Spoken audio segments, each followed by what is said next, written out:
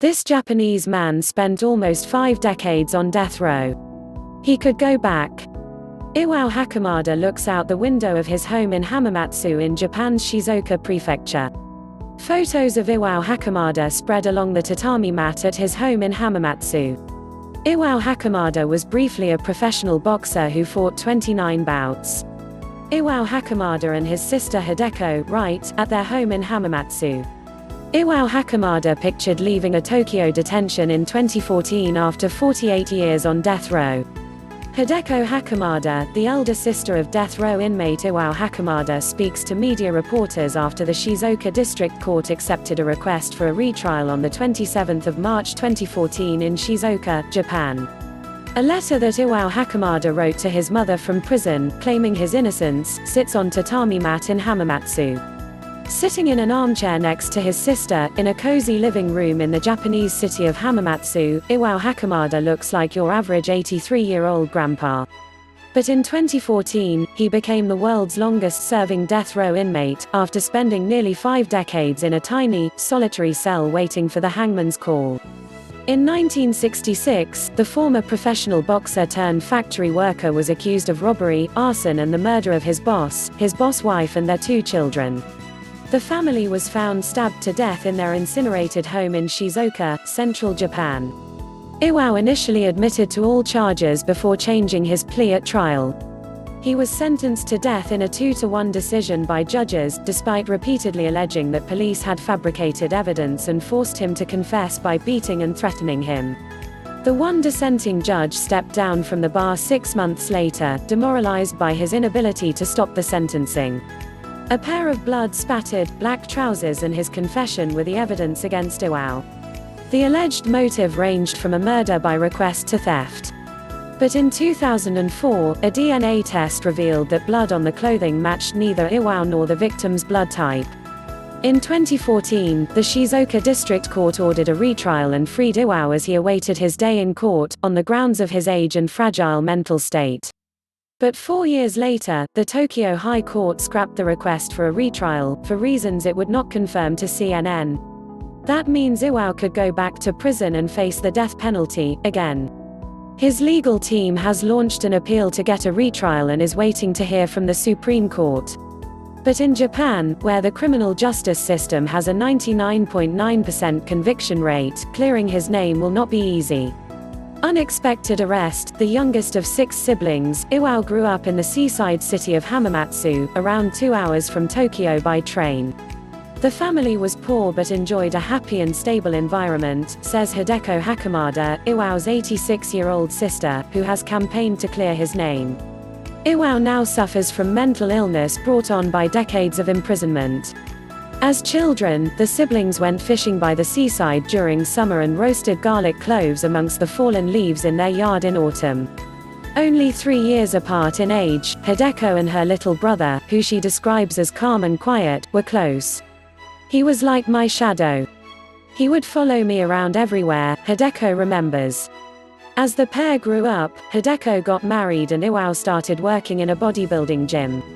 A colleague encouraged him to take up boxing. In 1959, at the age of 23, he started his professional career as a featherweight boxer and went on to fight 29 bouts.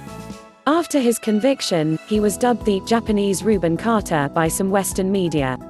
Carter was an American Canadian boxer who was wrongfully convicted of murder but freed after serving almost 20 years in prison.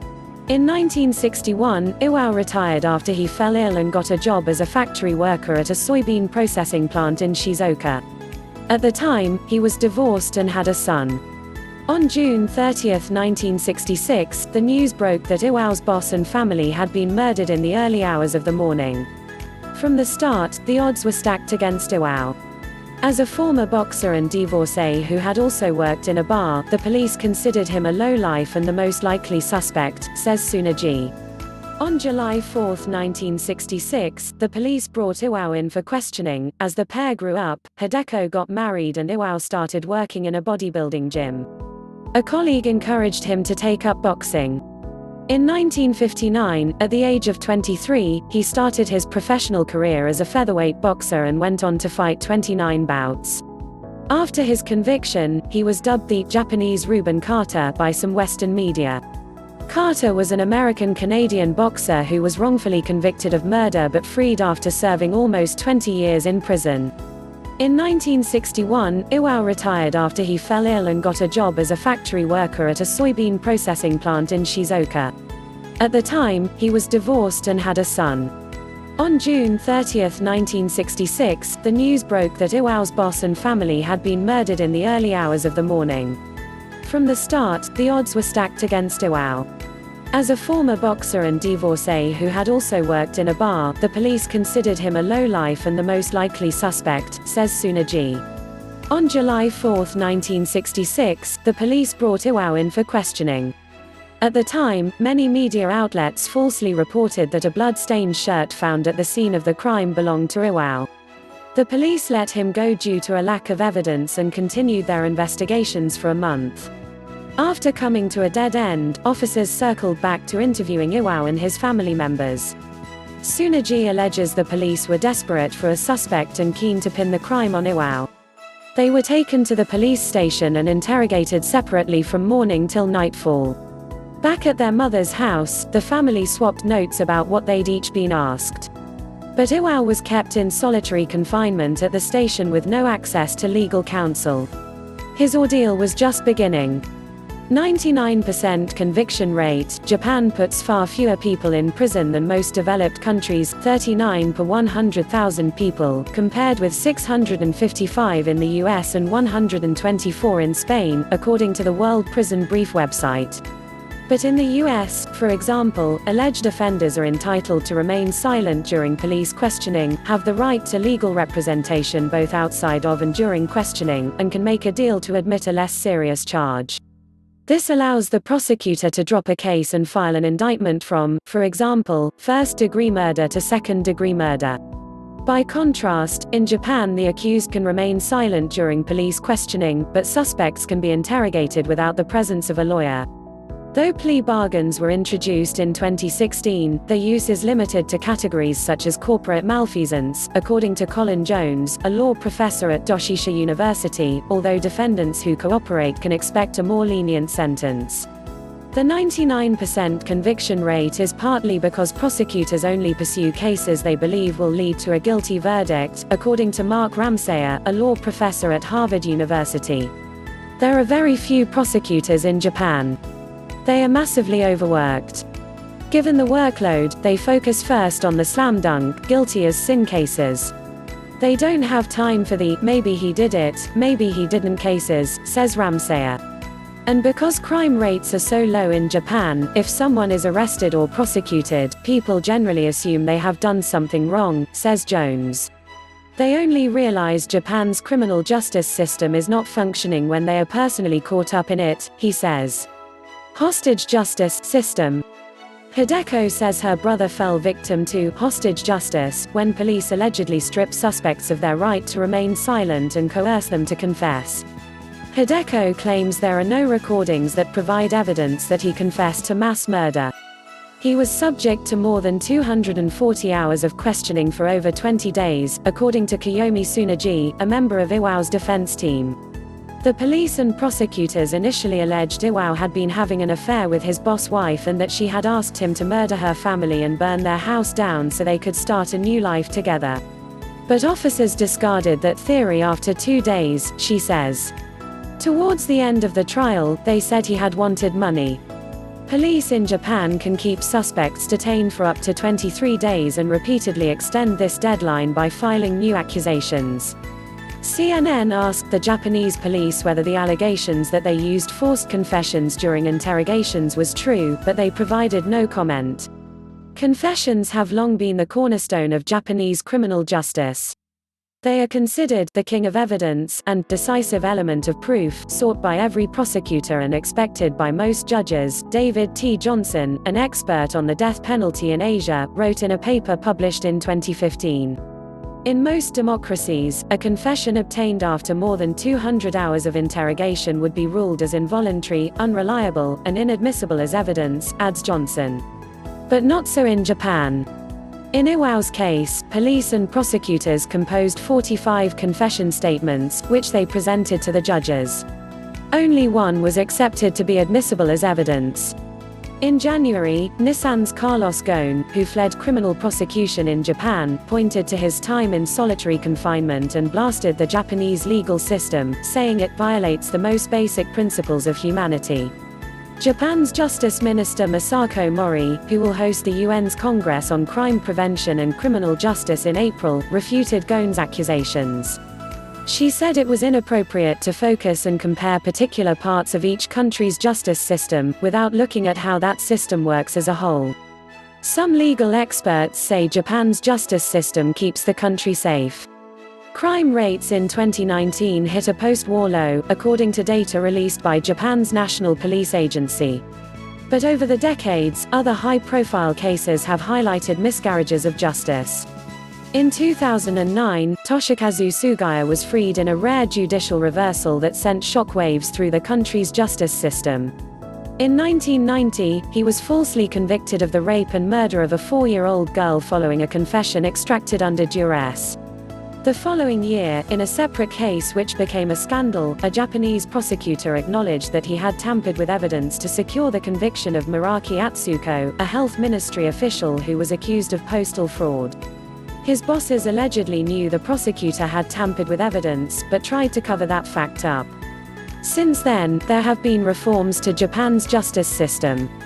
In 2009, Japan introduced a jury-like system where six lay judges are chosen from the electoral roll to serve alongside three professional judges in cases involving certain serious crimes.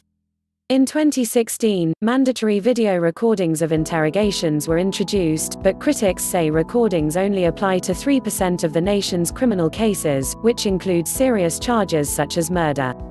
Attempts to make investigators record interrogations have faced resistance from the police and prosecutors, who have tried to limit the scale and scope of those requirements, according to Osamu Niikura, a lawyer and member of the Japan Federation of Bar Associations JFBA. Furthermore, acquittals can be seen as detrimental to the careers of both judges and prosecutors. But in Japan, the price for a miscarriage of justice can be death.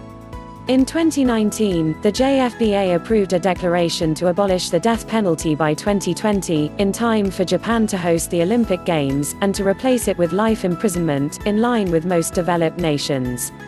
It was submitted to the Prime Minister, the Minister of Justice, the Speaker of the House of Representatives, and the President of the House of Councillors but is not legally binding and the death penalty has not been abolished. A thorny issue, Hideko used to think the death penalty was a reasonable punishment for those who committed terrible crimes, until she saw the effect its sentencing had on her brother. For the first 20 years of imprisonment, Iwao believed that one day he would be set free. He applied himself to his studies, found solace in God, and wrote frequent letters home. In each one, he told his mom he was innocent and asked after his son. Hideko says his optimism gave her hope. But in 1980, after Japan's Supreme Court finalized Iwao's death penalty, he was transferred to a prison exclusively for death row inmates. The day after Iwao arrived there, the guards took the man in the cell next to his off to the gallows. I thought they did that deliberately to break Iwao's spirit, says Hideko. Iwao told me that that man shouted out his farewells to the other inmates as he was taken away. Soon after, Iwao's letters home became more sporadic. His once clear handwriting slipped into scrawls. For over a decade starting from the 1990s, Hideko's attempts to see Iwao were rejected. They were finally able to meet after Hideko appealed to a member of parliament in Tokyo for help. But when the siblings finally reunited, Iwao didn't seem to remember who he was, she says. Unlike in the US where execution dates are set in advance, death row prisoners in Japan are executed in secret, with no advance warning given to the prisoner, their family nor legal representatives, according to Amnesty International. Prisoners often only learn of their execution hours before it's due to take place. Japan justifies this by saying it is out of consideration that an advance notice would disturb the inmate's peace of mind and might cause further suffering. Usually, inmates must be executed within six months of their sentencing hearing. But Tsunaji says this rarely happens, and many end up waiting years. Capital punishment is usually reserved for those who have committed multiple murders. All executions are carried out by hanging. In Japan, the public supports the death penalty. 80% of respondents in a 2019 report released by the Cabinet Office said they were in favor. Only 9% opposed it. In his own world over the decades, Iwao has garnered a loyal following of supporters. Artists and sportsmen as well as non-profit groups and volunteers have all joined the call to clear his name, and cast a spotlight on the plight of death row inmates, who like Iwao can end up with mental illness. In 2018, Iwao's former boxing association launched a petition supporting calls for a retrial. The following year, they commissioned a manga series on Iwao's life, saying boxers have a bad rap in Japan as the sport is not deemed as prestigious as judo and kendo. That same year, Iwao and his sister traveled to Tokyo to attend a mass given by Pope Francis. Iwao was baptized as a Catholic in 1984 while in prison. His sister had hoped he could meet the Pope, who in 2018 called on all world leaders to abolish the death penalty, but their request went unanswered. Over the decades, Amnesty International and Iwao's former boxing association have organized a series of small demonstrations in front of Japan's parliament. Though Iwao will likely never return to full mental health, Hideko says her brother has gotten healthier and lost the limp he had while on death row.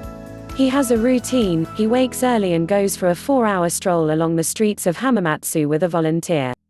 He's just in his own world now, says Hideko. Hideko usually gives him 500 yen $4 so he can buy himself snack on the walk. He sometimes ends up giving it to young children. Iwao has not seen his son since he went to prison, but Hideko suspects that he remembers that he once had a child. Back at their shared home, Iwao is mostly silent. Once in a while, he contributes a word or two to the conversation before picking a Kleenex, which he neatly folds into squares, a habit he picked up on death row, says Hideko. Till this day, it is not clear who killed Iwao's boss, his boss wife and their two children.